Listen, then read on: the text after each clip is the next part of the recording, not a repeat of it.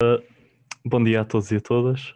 Uh, sejam bem-vindos à sessão de abertura do, do Economics Week. O Economics Week deste ano será destinado a, ao pluralismo e ao que isso implica uh, no currículo que nós, enquanto economistas, temos. A questão do pluralismo é uma questão que começou a despoltar, sobretudo, com a com a crise de 2008 e com as crises da dívida soberana, perante a incapacidade uh, do, do, currículo explicar uh, as crises, muitos alunos, especialmente em Manchester, formaram grupos, nomeadamente o Thinking Economics, que tem, que tem cá um grupo no, no ISCTE, para discutir uh, as várias visões da, da economia possíveis e com isso tentar criar espírito crítico, relacionar com a realidade, algo que os currículos na, nas universidades, pelo menos na maior parte delas, eram incapazes. Com isso em mente, uh, o, uh, estamos aqui reunidos com Mariana Mortágua, uh, é um prazer enorme tê-la tê-la aqui connosco. Mariana Mortágua dispensa apresentações, mas mesmo assim gostaria de fazer uma pequena apresentação.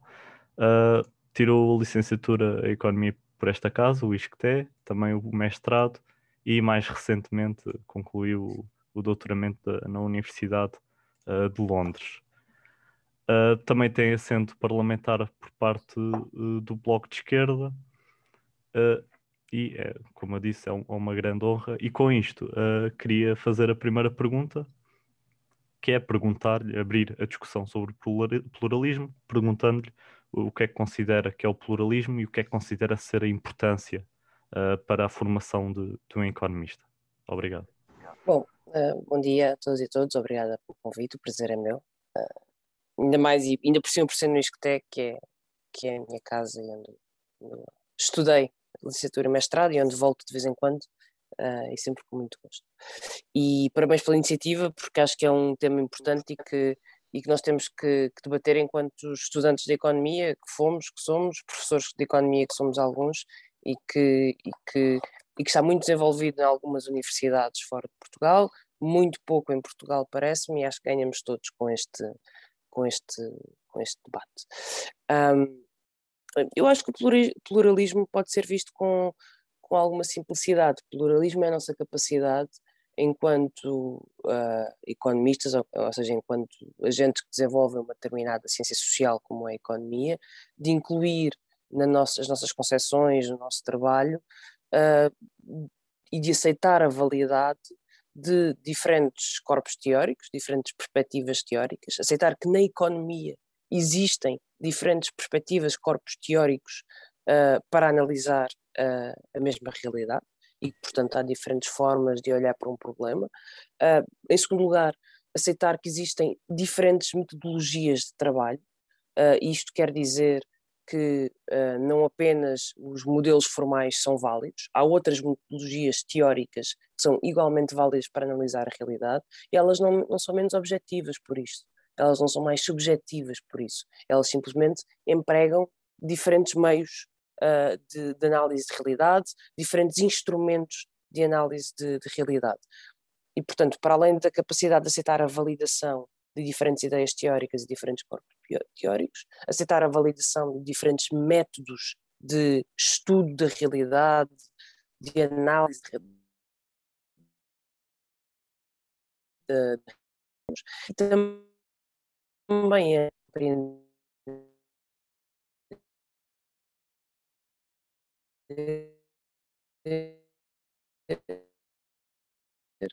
sempre junto de contribuir a economia só tem a ganhar e incluí-los na, sua análise do mundo.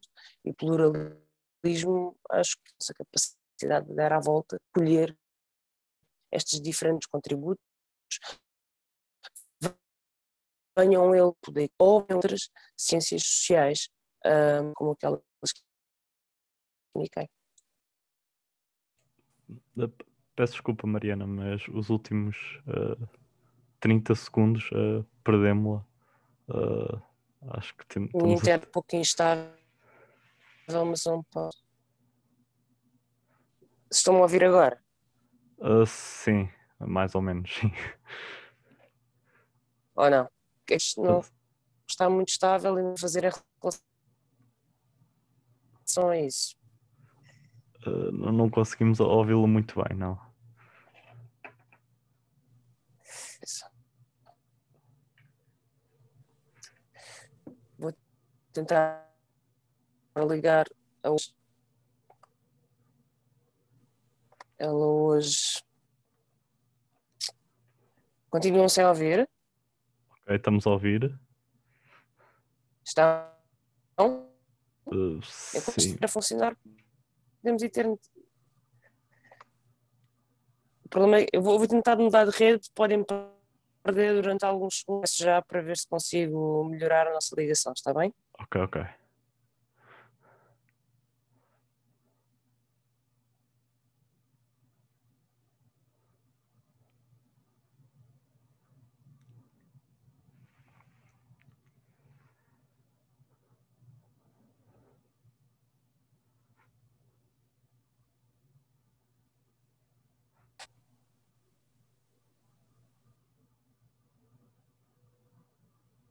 Pronto, acabei de me ligar a outra rede. Ok, acho que estamos a conseguir ouvir. Pronto, espero que sim. Desculpem, mas. Uh... Pronto, perdemos-la do, do, os últimos 30 segundos do seu discurso.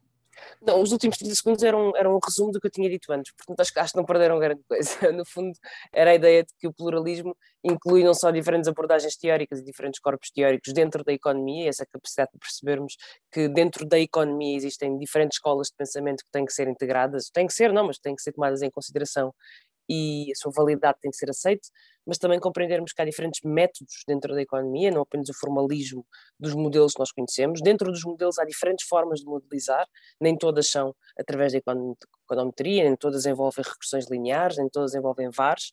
Um, e, e, a terceira nota era que pluralismo também implica a humildade da economia dialogar com outras ciências sociais que vão da filosofia à psicologia, à sociologia ou à história. Ok, muito bem. Outra questão que, que lhe queria fazer era, tendo em conta a, a sua opinião, obviamente, uh, se, se, acha que as medidas que foram sendo tomadas, não só em Portugal, mas uh, até no quadro da União Europeia, se as medidas económicas, as políticas económicas têm tido por base uh, uma base pluralista ou se o mainstream da economia tem, tem ganhado no sentido em que tem estado fechado, mesmo uh, nas políticas tomadas? Um, essa é, uma, é uma, uma, pergunta que não tem uma resposta tão óbvia quanto, quanto se possa pensar. Um, é óbvio que o, o, aquilo que chamas o mainstream, é óbvio que o, o mainstream que hoje predomina na teoria neoclássica ou na, na, na nova síntese ou nos novos modelos de consenso um, é o mesmo mainstream que domina uh, o pensamento político. Isto estamos sempre a falar do quadro do neoliberalismo. Daí nós diz, e é óbvio que a teoria económica dominante e existente influenciou uh, a tomada de decisão política. E, portanto, existe na austeridade, existe na receita de baixar salários no momento de crise, um fundamento e uma fundação uh, teórica teórica errada, errada, que foi, que foi provada errada há muito tempo, pelo menos desde Keynes, mas já antes dele, com, com, com lógicas muito simples sobre porque é que nós não podemos, porque é que não há um regresso uh, normal ou natural aos estados de equilíbrio, porque é que a economia pode, pode permanecer uh, num estado de equilíbrio com subemprego, um, porque é que existe uma falácia da composição que faz com que uh, a economia possa ficar presa num problema de procura que não lhe permita recuperar a sua atividade económica. E, portanto, é óbvio que por trás das políticas, sobretudo das políticas a seguir à, à, crise de 2012 e à, à última grande, grande recessão, por trás dessas políticas está um pensamento económico que é um pensamento económico altamente político, como são todos, não vale a pena termos grandes eh, ilusões sobre isso. Está um pensamento económico político, fundado nas teorias neoclássicas e no âmbito do quadro neoliberal. O quadro neoliberal é o mesmo quadro que fez as instituições e criou as regras das instituições, nomeadamente a nível europeu. E, portanto, a raiz da, da, daquilo que se chama o consenso ou mainstream, ela é a mesma. E a raiz das ideias, ela é a mesma. Não podemos, no entanto, dizer que as instituições apliquem uh, simplesmente e cegamente uh, os ensinamentos teóricos. Podemos dizer que o Banco Central Europeu aplica à risca uh, os modelos do novo consenso monetário. Eu tenho enormes dúvidas. Tenho enormes dúvidas. Acho que o Banco Central Europeu, neste momento, largou esses modelos e faz uma gestão uh, muito mais pragmática da sua política monetária do que aquela que seria de esperar, de acordo com os modelos do, do novo consenso. E, portanto, embora sejam fundados pela mesma lógica, pelo mesmo pensamento, que é um pensamento ao qual falta necessariamente pluralismo, é um pensamento errado e persiste em erros, porque tem bases uh, uh, erradas, tem, tem, está errado na sua base, da minha perspectiva.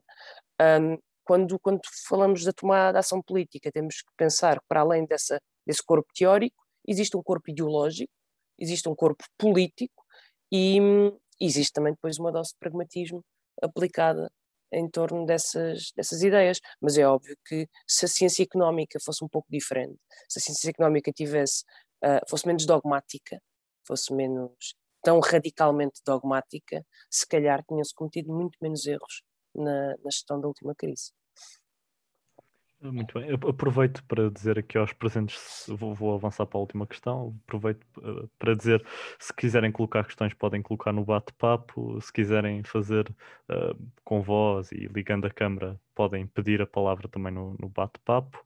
Uh, quanto à minha última questão, o, o pluralismo está intimamente ligado à, à questão da, de, democracia pela, pela própria linguagem. Uma das críticas que é feita, nomeadamente pelo pela Associação do Rethinking Economics, é que é usada uma linguagem tão complexa uh, dentro da economia que uh, impede ao cidadão comum de, de, intervir. É das poucas ciências sociais onde os assuntos de, da economia normalmente são deixados um, ehm, para o, os, os, economistas.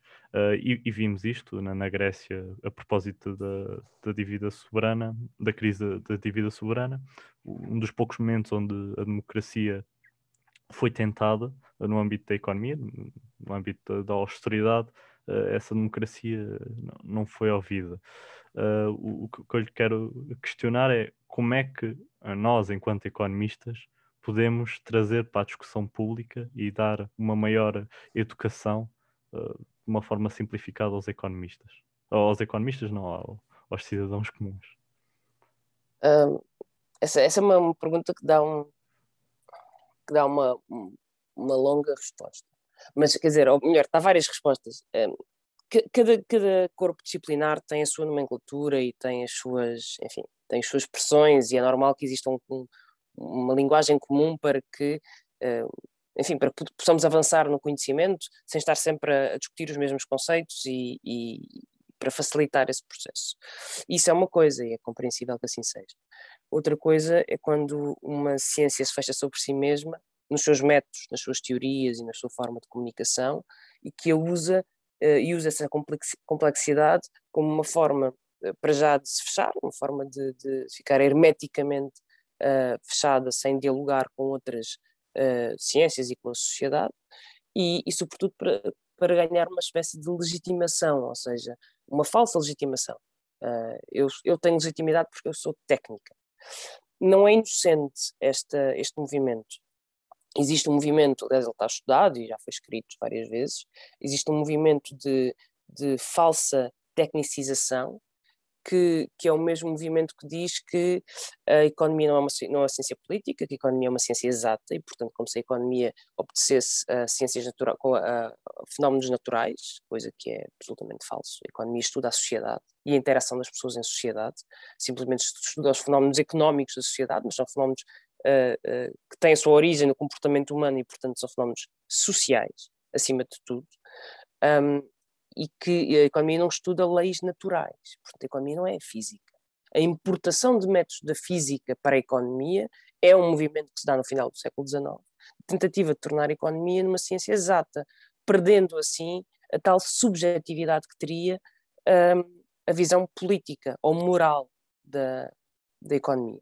Com este movimento de transformação da economia numa ciência exata, ou nessa tentativa de transformação numa ciência exata, uh, não só se complexificam os seus métodos, como uh, a, própria, a própria ciência se vai fechando sobre, sobre si mesma.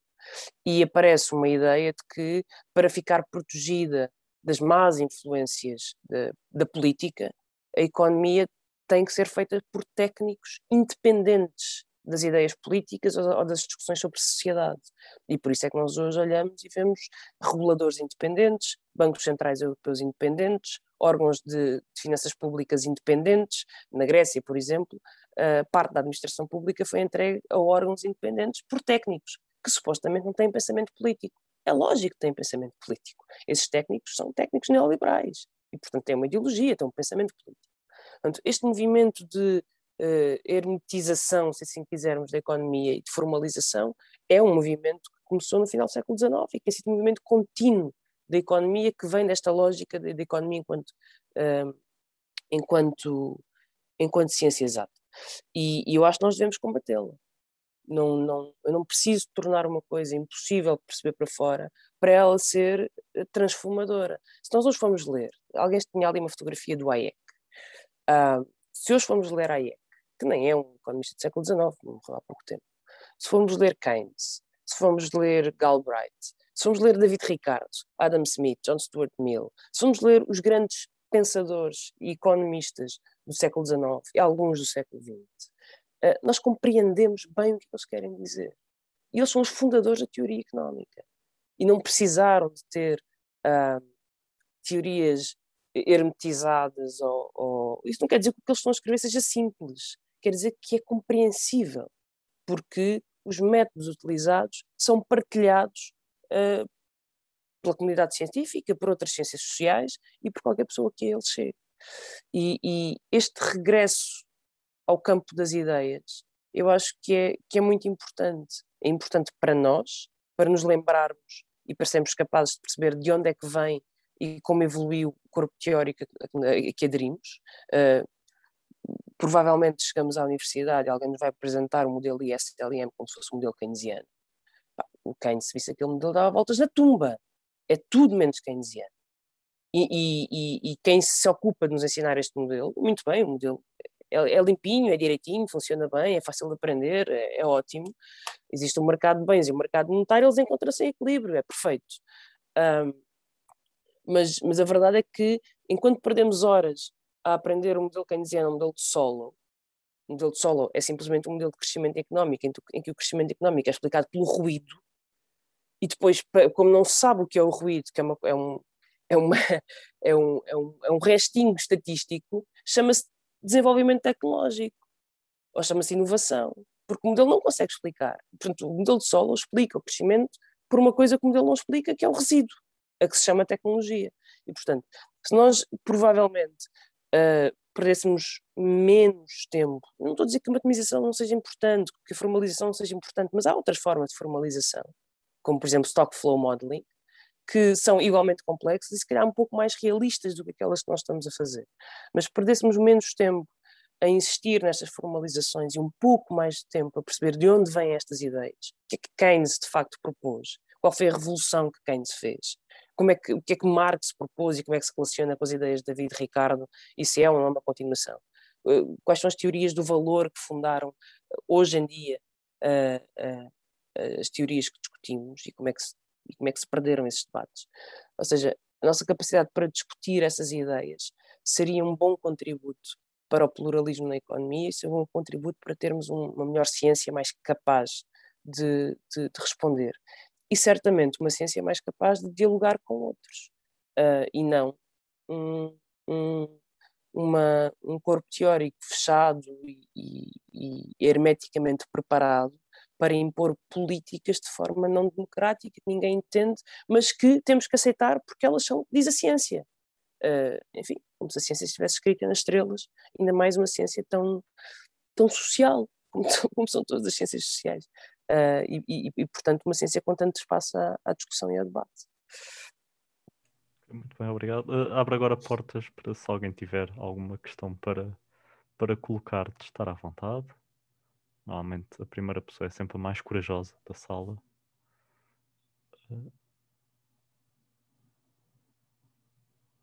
Muito bem, perante este silêncio também não, não queria tomar muito mais o tempo da, da Mariana. Uh, muito obrigado por, por este bocadinho uh, que teve aqui connosco. Obrigada.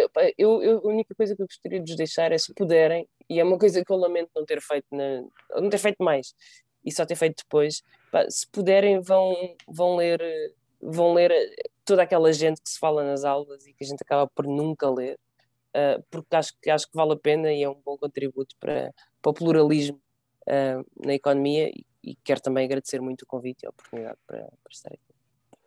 Bem, uh, perante estas últimas palavras, faço fotos de, de, grande sucesso, não só profissional, mas também pessoal para, para a Mariana e vemos os, aos restantes noutras sessões. Muito obrigado. Obrigada.